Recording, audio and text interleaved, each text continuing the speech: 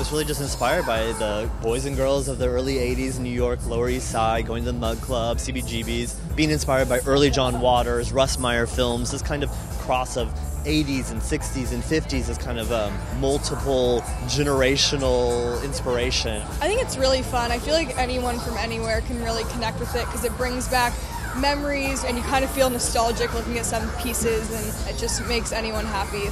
It gave me like an old school Blow, Austin Powers type vibe. I think it was dope.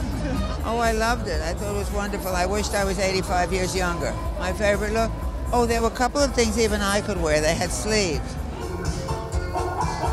one of the prints I did is like all scribbly that looks like a kid would have done and put on the refrigerator. So I wanted to have this kind of raw feeling in that respect, a lot of energy all of the looks were so incredible. My favorite look was the first one I wore. It has like it was a shorts with like a little tied shirt, and it was so amazing. The best place to wear a Jeremy Scott outfit nowadays is anywhere. We're seeing in pop culture, we're seeing the trendy new kids on the block, the hipsters. Everyone's wearing some sort of Jeremy Scott piece in their wardrobe, and it's acceptable. You know, no one's looking at you going, "That's odd." People are looking at you going, "That's cool."